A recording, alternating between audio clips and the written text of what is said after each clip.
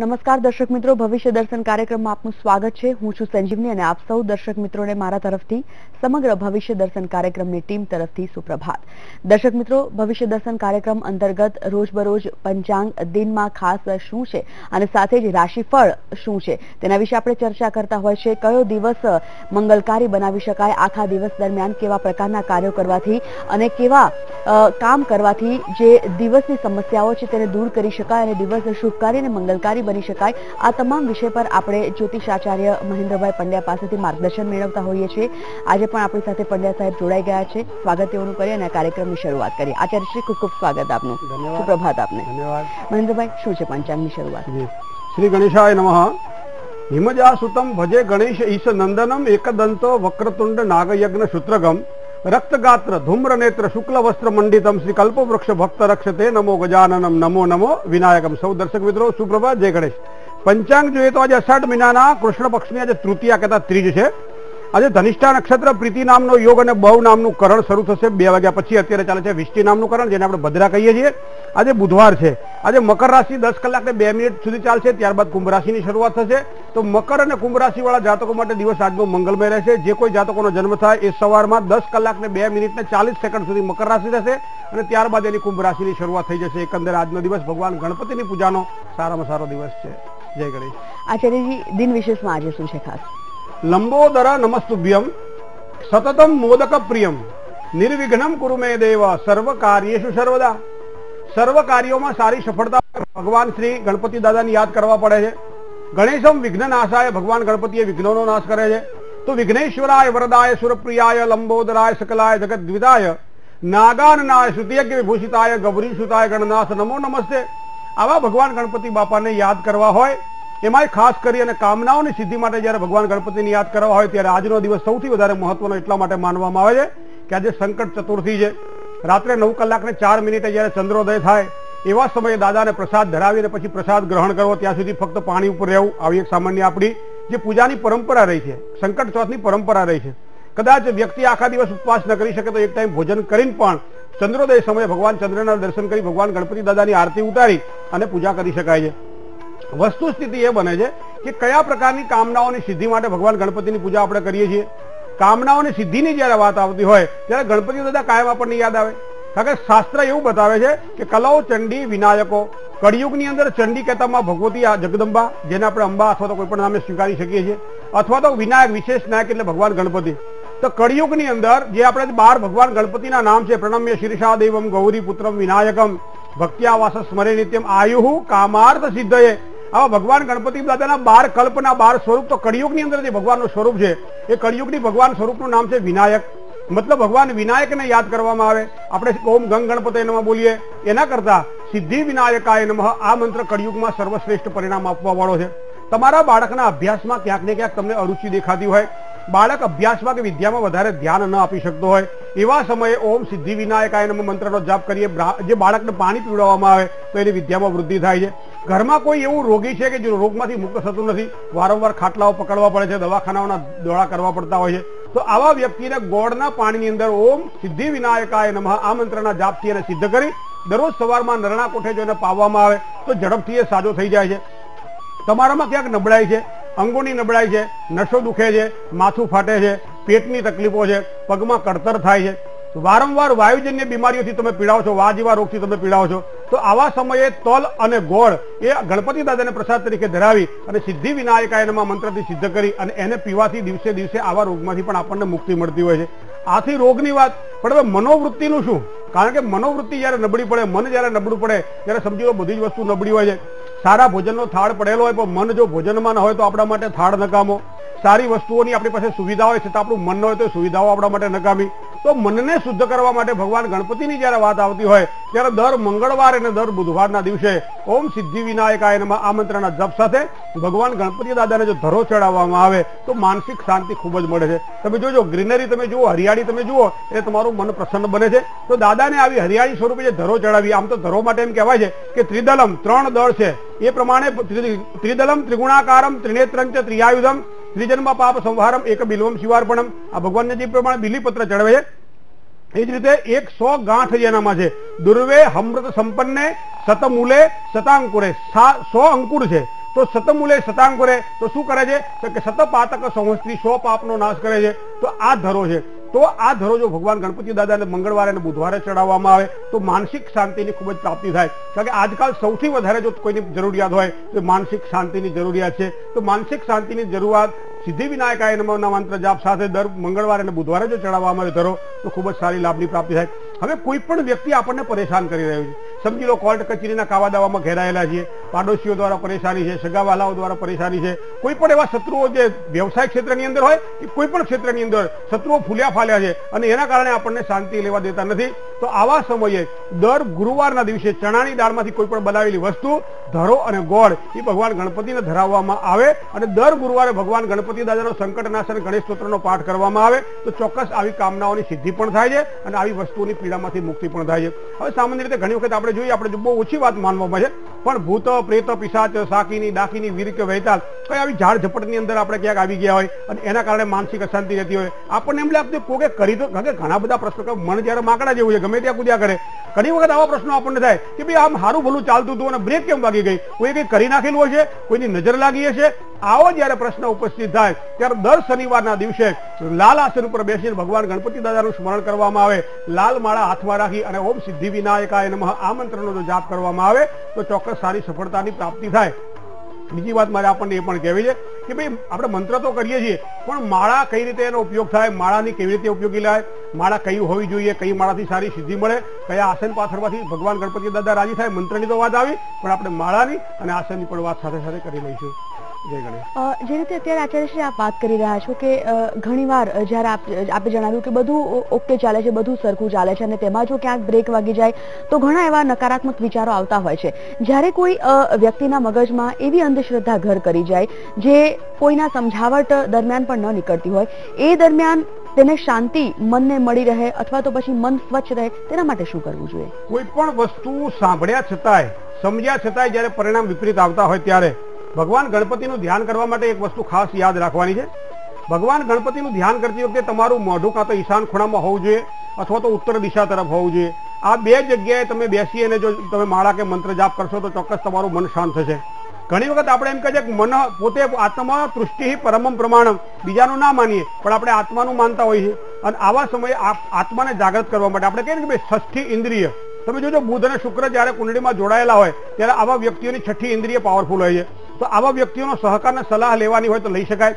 પણ કદાચ નથી લઈ શકાતી તો આવા સમયે ઉત્તર દિશામાં કે ઈશાન ખૂણામાં બેસી અને આ પ્રમાણે જો ભગવાન ગણપતિના મંત્રનો જાપ કરવામાં આવે રીમ સિદ્ધિ વિનાયક એના મંત્રનો જાપ કરવામાં આવે તો ચોક્કસ એની સફળતાની પ્રાપ્તિ થાય અને મનોગ્રંથિમાં ક્યાંક ને ક્યાંક અડચણ કે તકલીફ હોય એ તકલીફોથી મુક્ત થવાનું હોય બિલકુલ. આચાર્ય શ્રી પ્રથમ ત્રણ રાશિ વિશે વાત કરી લઈએ. મેષ વૃષભ અને મિથુન. કેવો રહેશે દિવસ? આજના દિવસે પ્રથમ રાશિની વાત કરીએ. મેષ રાશિ મેષ રાશિ એટલે જેના અક્ષર છે અલ અધિ ઈ એવા મેષ રાશિ વાળા જાતકો માટે. દિવસ આજનો મંગલમય પસાર થાય તેવા ચિહ્નો દેખાઈ રહ્યા છે. નક્ષત્રના બળ પ્રમાણે આજના દિવસે નક્ષત્ર સારું છે, મતલબ જે કંઈ કામ હાથમાં લેશો એમાં સારી સફળતા પણ મળશે. પ્રવાસને લગતા કામ હોય, યાત્રાને લગતા કામ હોય, આગળ વધવાનું હોય તો સફળતા માટે સારા ચિહ્નો દેખાશે. પરિવારમાં કોઈ માંગલિક પ્રસંગોમાં જવાનું થાય અથવા તો કોઈ સારા પ્રસંગોમાં હાજરી આપવાની થાય દેવ દર્શનની પણ શક્યતાઓ આજના દિવસ માટે વધી રહી છે. મતલબ પરિવાર સાથે જેટલા વધારે રહેશો, એટલો સારો સંકલ્પ આજના દિવસ માટે કેળવી શકશો. ભગવાન ગણપતિને જે યાદ કરવાના હતા એક વસ્તુ યાદ રાખજો. ગોળ, ઘઉં અને ઘીમાંથી બનાવેલી કોઈ પણ વસ્તુ હોય, ચાહે લાડુ હોય, ચાહે લાપસી હોય, ચાહે સુખડી હોય, ભગવાન ગણપતિ દાદાને ધરાવીને કરજો દિવસની શરૂઆત. સિદ્ધિ વિનાયક આયનમાં મંત્રનો કરજો, જપ મેષ રાશિના જાતકોનો દિવસ આજે મંગળબેર છે વૃષભ રાશિની વાત કરીએ બબુ જેના અક્ષર છે એવા વૃષભ રાશિવાળા જાતકોને ચંદ્રબળના આધારે થોડીક માનસિક ચિંતાઓ આજના દિવસ માટે રહે તેવી શક્યતાઓ દેખાય છે. મતલબ કે કામકાજમાં જે કામકાજ કરવાનું હોય એ પ્રથમ કામકાજ કર્યા પછી બીજું કામ હાથમાં લેવું. આ પ્રમાણે ક્રમાનુસાર કામકાજને જો હાથમાં લેશો તો તમારા પરિણામોમાં તમને સારી સિદ્ધિ જોવા મળશે. અન્ય વ્યક્તિના સાથેનો વ્યવહાર કરતી વખતે ખાસ ધ્યાનમાં રાખજો કે આ વ્યક્તિ મને અનુકૂળ છે કે નહીં. જો અનુકૂળ ન હોય તો આજનો દિવસ એના માટે ટાળજો, તો જ તમને સારી સફળતાની પ્રાપ્તિ થશે. ભગવાન ગણપતિની જ્યારે પૂજા કરતા હોય ત્યારે સિદ્ધિ વિનાયક આયનમની સાત કે અગિયાર માળા. એની પણ ખાસ લાલ જો તમારી પાસે માળા હોય એના વડે કરશો, તો આજનો દિવસ તમારો ખૂબ સુફળ બનશે. આવા યોગ બની રહ્યા છે. મિથુન રાશિની વાત કરીએ. કચ્છ અને ગજના અક્ષર છે તો મિથુન રાશિવાળા જાતકો માટે. આજનો દિવસ જો જોવા તો મિથુન રાશિવાળાને માનસિક ઉદ્વેગ કદાચ થોડો રહે. પરિશ્રમ થોડો વધી શકે એવી શક્યતાઓ છે. યાત્રા પ્રવાસની સાથે સાથે થોડો થાક પણ અનુભવાશે. જે કામ ન કરવા પડે એવા કામ પણ કદાચ હાથમાં લેવા પડે અને એના કારણે પરિશ્રમ વધે આવી પણ શક્યતાઓ મિથુન રાશિના જાતકોને દેખાય છે. પણ મિથુન રાશિના જાતકો આજ ભગવાન ગણપતિ દાદાને જો ધરો ચડાવે અને એ ધરો દ્વારા ઓમ ગંગ ગણપતિ નમની સાથે સાથે સિદ્ધિ વિનાયક મંત્રના જપનો સંપૂર્ણ કરી અને એકવીસ કે એકાવન ધરો જો દાદાને ચડાવશે તો ચોક્કસ એને સારી સફળતાની પ્રાપ્તિ થશે. બિલકુલ. તો દર્શક મિત્રો, જે રીતે આપણી ચર્ચા ચાલી રહી છે, આચાર્ય શ્રી સાથે આ ચર્ચાનો દોર આગળ વધારીશું. રાશિ ફળ વિશે પણ આગળ આપણે જાણવાનું છે. અત્યારે સમય છે એક વિરામનો.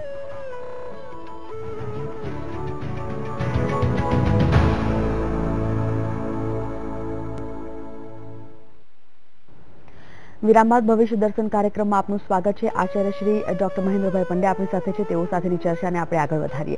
આચાર્યજી થોડી વાર પહેલા જ્યારે દિન વિશેષની આપણી વાત ચાલી રહી હતી મનોવૃત્તિની આપણે વાત કરી કે મનોવૃત્તિ જ્યારે ખરેખર નબળી હોય તો કેવા પ્રકારની તકલીફો કેવા પ્રકારની સમસ્યાઓ આવે છે?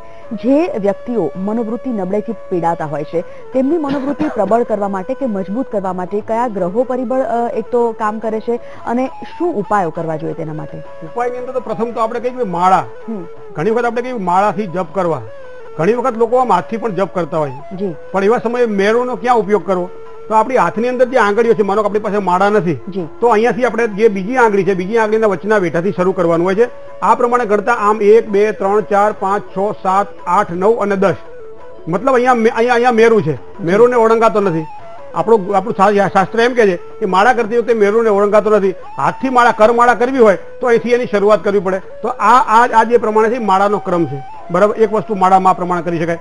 તો માળાની જો વાત આવે તો બીજી વાત મારે આપને કહેવી છે કે માનો કે આપણી પાસે માળા છે તો માળાની અંદર કોઈ પણ પ્રકારે આપણને મેરું જોવા મળે છે. તો આ એનો મેરું છે.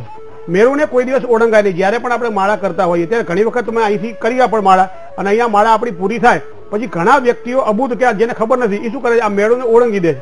મેરુને જ્યારે ઓળંગે છે ત્યારે આનું જે ફળ છે એ ઇન્દ્રને લઈ જાય આવી એક સામાન્ય માન્યતા છે. મેરુને ઓળંગાય નહીં. એક વસ્તુ આ. માળા કરતી વખતે એક વસ્તુ ખાસ ધ્યાનમાં રાખવાની હોય છે કે ડાબા હાથ, જમણા હાથને ન અડે. એટલા માટે આપણે ગૌમુખીનો ઉપયોગ કરતા હોય છે માળાની અંદર. માળા જ્યારે સવારમાં કરવાની હોય ત્યારે અલગ પ્રકારની હોય છે. બપોરે કરવાની હોય ત્યારે એ માળા અલગ જગ્યાએ હોય છે અને સાયંકાળે કરતા સંધ્યાના સમયે કરવાની હોય ત્યારે માળા અલગ જગ્યાએ હોય છે. સવારમાં જ્યારે કરતા હોય ત્યારે નાભી જે છે, એ નાભીની સન્મુખ રાખી અને માળા કરવાની હોય છે. મધ્યાહન કાળે કોઈ પણ જગ્યાએ માળા કરવાની હોય ત્યારે હૃદયસ્થ માળા રાખવાની છે મતલબ હૃદયના ભાગે રાખવાની હોય છે. અને સંધ્યાકાળે જયારે માળા કરવાની હોય છે ત્યારે નાકના અગ્રભાગની અંદર એ માળાને રાખવાની હોય છે. મતલબ માળા ત્રણ તમે જોજો મોટા ભાગના સન્યાસીઓ હાથમાં એક પેલું રાખતા કે જેના કારણે હાથ ઊંચો રાખીને માળા કરી શકે. પહેલાના સમયમાં આવું હતું હવે હમણાં દેખાતું નથી. પણ મતલબ એવો થાય કે સાયંકાળે જો માળા કરવાની હોય તો એ માળા હંમેશા નાકના સામેના ભાગમાં હોવી જોઈએ. તો એનો મતલબ કે માળાની આ રીતે રાખવી જોઈએ. માળા જમીનને અડે તો ગુરુત્વાકર્ષણના નિયમ પ્રમાણે પૃથ્વીની અંદર બધી આકર્ષવાની જે તાકાત છે એના કારણે તમારી શક્તિ માળા દ્વારા પૃથ્વીમાં છીનવાઈ જાય મતલબ તમને ફળ ન મળે. તો માળા જમીનને પણ ન અડવી જોઈએ. એક વસ્તુ આ ધ્યાનમાં રાખવાની છે. જમીનને ન અડવી જોઈએ સાથે સાથે આ માળાનો ઉપયોગ કઈ રીતે કરો? તો માળા જ્યારે આપણે મોટા ભાગે ગણતા હોઈએ ત્યારે મોટા ભાગે ઘણા આવી રીતે ગણે છે. તો જ્યારે કસબી ફેરવવાની હોય તસબી ફેરવવાની હોય મુસલમાનો આ રીતે માળાનો ઉપયોગ કરતા હોય છે અને મોઢું લેતા હોય છે. હકીકતમાં આપણે માળાને આ રીતે લેવાની હોય છે. બીજું માળાને જ્યારે આપણે સ્પર્શતા હોઈએ ત્યારે ત્રીજી આંગળી અને અંગૂઠો આનો ઉપયોગ કરતા હોઈએ કારણ કે આ ભાગ અને આ ભાગ એટલા સ્પંદન વાળા હોય છે કે અહીંયા પ્રેશર થાય. અને એના કારણે મગજની પાછળ જે જ્ઞાન તંતુઓ છે જ્ઞાન તંતુઓ શિથિલ થાય. અને શિથિલ થયેલા જ્ઞાન તંતુઓ જ્યારે સ્થિર બને ત્યારે જ વ્યક્તિનું મન સિદ્ધ થતું હોય છે. માટે આ પ્રમાણે મનોવૈજ્ઞાનિક દ્રષ્ટિએ આ રીતે માળા કરવાની છે. માળાને ફેરવતી વખતે હંમેશા આ આ રીતે જ ફેરવાતી હોય છે. હે માળાને બીજી રીતે ઘણા આમનો ઉપયોગ કરે છે ઘણા આમનો ત્રીજી આંગળીનો ઉપયોગ કરે છે. હકીકતમાં બીજી આંગળીને અંગૂઠો અને બીજી બીજી બીજી આંગળી છે એનાથી માળાને ફેરવવાની હોય છે. તો આ પ્રમાણે જો માળાને ફેરવે તો એને સારી સિદ્ધિની પ્રાપ્તિ થાય. પણ એમ કહેવાય છે કે માળા એક જ વ્યક્તિ જે ફેરવતો હોય એની જ પાસે માળા હોવી જોઈએ. હું ફેરવું મારો ભાઈએ ફેરવે મારા ઘરવાળાએ ફેરવે મારો દીકરોએ ફેરવે. એક જ માળા જો વારંવાર આ રીતે ઉપયોગમાં લેવામાં આવતી હોય દરેકનું તેજ અલગ અલગ હોય છે. દરેકનો સ્વભાવ અલગ અલગ હોય છે. તો પ્રકૃતિના નિયમ પ્રમાણે દરેકના સ્વભાવની પોતાની એક જ માળા હોવી જોઈએ. માળાને જયારે સિદ્ધ કરતી વખતે થોડું પાણી છાંટી હાથમાં રાખી અને માળા જયારે હાથમાં લેતા હોઈએ ત્યારે અક્ષ માલા અધિપતા એ સિદ્ધિમ દેહી દેહી સર્વ મંત્રાર્થ સાધિની સાધય સાધય સર્વ સિદ્ધિમ પરિકલ્પય પરિકલ્પય મે સ્વા આ માળાનો મંત્ર છે એને શુદ્ધ કરવા માટેનો. આ પ્રમાણે માળાને શુદ્ધ કરવામાં આવે તો ચોક્કસ એને સારી સફળતાની પ્રાપ્તિ થાય. અને આ જ રીતે જો એ માળા કરે તો મને લાગે છે બહુ જ ટૂંકા મંત્ર કરે અને છતાંય સારી સફળતા મળે. અને કદાચ આ રીતે ના કરે તો ઘણા બધા મંત્રો કરે. સફળતા તો મળે જ ખાવ એટલે ભૂખ તો મટે પણ તે પેલો સંતોષ થવો જોઈએ એ સંતોષ ના થાય. બિલકુલ. આપે જે રીતે અત્યારે જણાવ્યું કે માળાનું મહત્વ શું હોય છે કઈ રીતે માળાનો જાપ કરવો જોઈએ શાસ્ત્રોમાં માળાની સાથે મંત્ર અને આસનનું પણ એટલું જ મહત્વ રહેલું છે. આપણે તેના વિશે પણ વાત કરીએ. તે પહેલા જે અન્ય ત્રણ રાશિ છે કર્ક સિંહ અને કન્યા તે લઈ લઈએ. કર્ક રાશિ એટલે જેના અક્ષર છે અને હ આવા કર્ક રાશિ વાળા જાતકો માટે ધન અને માનના વ્યયની સંભાવનાઓ કદાચ આજના દિવસ માટે થોડી વૃદ્ધિ પામી રહી છે. નોકરિયાત વર્ગ માટે આ વસ્તુ ખાસ છે. ખાસ કરીને નોકરિયાત વર્ગને માનસિક પરેશાની આજના દિવસ માટે રહેશે માનસિક તણાવ રહેશે વ્યવસાયમાં પ્રગતિ અને ધન લાભની શક્યતાઓ પણ કર્ક રાશિ વાળા જાતકો માટે દેખાશે. વરસાદી એ માહોલમાં બને ત્યાં સુધી યાત્રા પ્રવાસ ઓછો કરો, બહાર નીકળવાનું ઓછું પોતા જે સ્થાનમાં કામ કરતા હોય ત્યાં જ બેસી નિશ્ચિત બનીને કામ કરશો. ખૂબ જ સારી સફળતાની પ્રાપ્તિ થાય તેવા કર્ક રાશિના જાતકોના યોગ છે. સિંહ રાશિની વાત કરીએ, મો અને ટો અક્ષરવાળા જાતકો માટે. કોઈ પણ તમે કામકાજ કરજો, સફળતા તમને આજે પ્રાપ્ત થશે. કારણ કે સૂર્ય જ્યારે ઉગે અને એવા સમયે જ્યારે મોતી પરોવાનું હોય, ત્યારે માળા પરોવાઈ શકાય છે. કારણ કે એ મૂળ કારણ છે. તમારે આજે ઉદાસ આજે દિવસ માટે દેખાશે. ધંધાકીય ક્ષેત્રમાં નવી તકો તો મળશે. સાથે સાથે નોકરિયાત વર્ગને પણ બઢતીની તકો દેખાઈ રહી છે. પારિવારિક સંબંધોમાં ખૂબ જ લાભ થાય. મતલબ તમારા મિત્ર, સગા અને સ્નેહીઓ સાથે હળવા મળવાનું હોય, વાતો કરવાની હોય, તો આજનો દિવસ એના માટે ફાળવજો. ખૂબ જ સારો રહેશે. કન્યા રાશિ, પોઠો અને અક્ષર અક્ષરવાળા જાતકો માટે ધંધાકીય ક્ષેત્રમાં કામકાજમાં સારી સફળતાના યોગો આજે દેખાય છે. કન્યા રાશિના જાતકોને પ્રતિસ્પર્ધી પક્ષ તમારા દ્વારા પરાજિત થશે. મતલબ તમારો વિજય નિશ્ચિત છે. આત્મવિશ્વાસમાં વધારો થશે. ઘરમાં એક આનંદનું નવું વાતાવરણ સર્જાય એવા પણ સુંદર યોગો બની રહ્યા છે. જય ગણેશ. અચ્છા ઋષિ માળાનું મહત્વ અત્યારે આપે જાણ્યું. શાસ્ત્રોમાં મંત્રનું મહત્વ પણ એટલું રહેલું છે કે મંત્રોચ્ચાર જ્યારે કરવામાં આવે અને સાથે જ કોઈ પણ પરિસ્થિતિમાં તમે નથી કરી શકતા કોઈ પૂજા અર્ચના હોય કે ગમે તે આસનનું પણ એટલું જ મહત્વ રહેલું છે. એની સાથે આસનનું મહત્વ પણ આપણે આજે જાણીએ. આપણે દરજી તો નથી પણ છતાં ત્રણ વસ્તુ વિચારી લઈએ.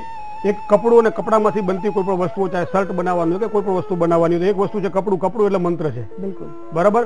કપડાની અંદર કોઈ પણ બટન ટાંકતા હોય છે એ બટન જે ટાંકીએ છીએ એ માળા છે. અને બટનને ટાંકવા માટે બટનને સાચવવા માટે ગાજનો ઉપયોગ કરીએ છીએ. તો ગાજ જે છે એ માળા છે. તો અહીંયા ભગવાન ઈષ્ટદેવની ઉપાસના માટે મંત્ર છે આસન છે. એની એને કરાતી જે માળ- મંત્ર છે અને એ કઈ માળા દ્વારા થાય છે. આસનની જ્યારે વાત કરવામાં આવે ત્યારે આપણા શ્રીમદ ભગવદ્ ગીતાની અંદર બહુ જ સુંદર રીતે એનો ઉલ્લેખ કરવામાં આવેલો. આસન કેવા પ્રકારનો હોવું જોઈએ? ઊનનું આસન હોવું જોઈએ રેશમી આસન હોવું જોઈએ. બને તો શુદ્ધ આસન હોવું જોઈએ. હે? અને બીજું એક આસન વારંવાર ઉપયોગ કરી શકાય. કારણ કે ઘણી વખત લોકો આસનો ધોઈ નાખતા હોય. આસન ધોઈ નાખતો નથી પોતાના ભાગ્યને ધોતો હોય છે. કારણ કે આસનની અંદર જે પોતાની ઊર્જા છે આમ સામાન્ય રીતે તમે એક કલાકથી વધારે કોઈ પણ જગ્યાએ બેસો ને એટલે તમારા શરીરની જે ઊર્જા છે ને એ વસ્તુ ગ્રહણ કરતી હોય છે. અને એટલા માટે તમે જોજો પહેલાના જમાનાની અંદર કોઈ પણ વ્યક્તિ જયારે ઘેર આવતો ત્યારે બેસવા માટે આસન આપવામાં આવતું.